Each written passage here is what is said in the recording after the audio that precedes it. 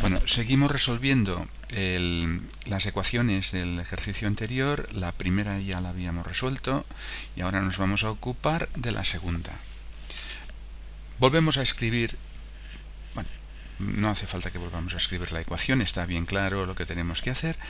Y eh, mm, voy a escribir aquí a partir de donde señalo los, los, pasos de cálculo. Vemos a diferencia de la ecuación anterior que hay un paréntesis y un número que está a la izquierda del, de lo que llamamos binomio.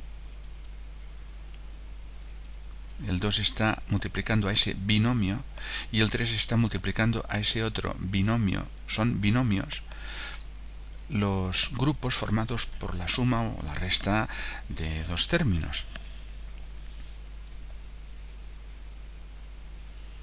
Bueno, ¿cómo se hace esto? Pues mm, utilizando la propiedad distributiva de la multiplicación respecto de la suma. Propiedad distributiva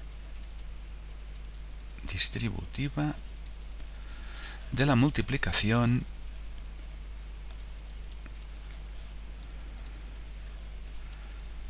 respecto con respecto de la suma. Propiedad importantísima a la hora de hacer cálculos. Quiere decir, esa propiedad, dice esa propiedad, que debemos multiplicar el 2 por la x y nos queda 2x, el 2 por el 4 y nos queda un 8 y lo que esto que acabamos de obtener está restado, si fuese un más estaría sumado, si este signo, esa operación fuese de sumar con signo más el 4, pues aquí tendríamos un signo más con el 8 al multiplicar 2 por 4. Lo mismo en el otro miembro. 3 por 1 es 3, 3 por x es 3x y más 3 por menos nos quedará el menos por la regla de multiplicar de los signos. Bueno, uh, más detalladamente por si no se entiende. A ver, más detalladamente, un poquito más detallado. Por si alguien no lo entiende. Esto lo podemos poner así también, más menos 4 igual a 3 por 1 más menos x. Restar es lo mismo que sumar con el opuesto. Acordémonos de lo que hemos dicho en el ejercicio anterior. Apliquemos la propiedad distributiva. 2 por x, 2x. 2 por menos 4, pues más 2 por menos 4. No hace falta poner el punto.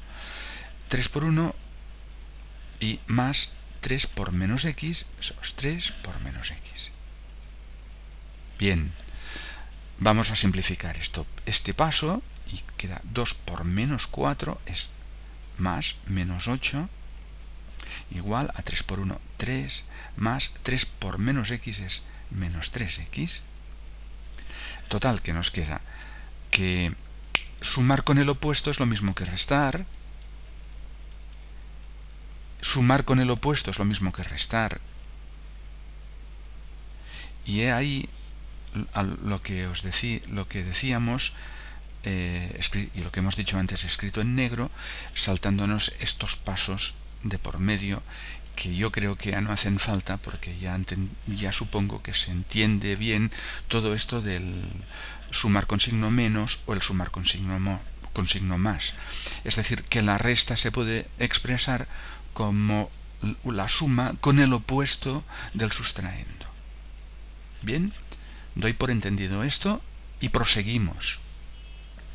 Voy a borrar la aclaración que he escrito en azul.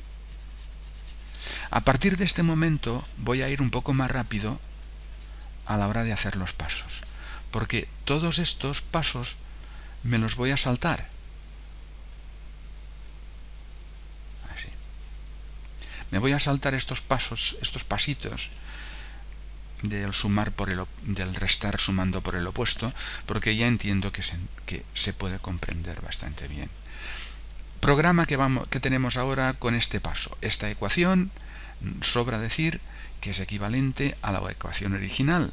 Y ya sabemos que la idea fundamental es ir escribiendo ecuaciones cada vez más sencillas pero equivalentes a las anteriores que nos conduzcan a tener la x sola en, sin, sin nada sumándole ni nada multiplicándole en uno de los dos miembros y al otro lado un número solo que va a ser si es que tiene solución la solución de la ecuación original, puesto que esta ecuación, que es una ecuación, y esta otra tienen que ser equivalentes si hacemos las mismas operaciones en un en uno de los dos en un miembro y las que las que hacemos y las mismas en el otro miembro. Bueno. Seguimos. Vamos a pasar menos 3x al primer miembro y menos 8 al segundo miembro. Con lo cual, coma, nos queda 2x más 3x igual a 3 más 8. 2x más 3x son 5x y 8 más 3 son 11. Entonces, hay que despejar x. Como está multiplicada por 5, estamos leyendo eh, 5 veces x es 11. Bueno, pues pensándolo así, directamente podemos poner x será la 11 quintos, porque tiene que ser la quinta parte de 11. Es una forma de pensarlo y ya tenemos la solución. Pero, aclaración. Aclaración.